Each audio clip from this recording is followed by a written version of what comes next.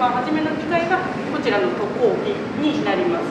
粘着剤ですね。出来上がった粘着剤をこの剥離紙に塗って台紙に貼り合わせるまでの機械こちらが後期になります。台紙をハウスの形に1枚ずつ成形をしてハウス5枚足拭きマット餌一緒に入れていきます。これでコパコが完成になります。これはですねゴキブリホイホイ1枚でドラム缶15キロのドラム缶が持ち上がるかどうかチャレンジになります。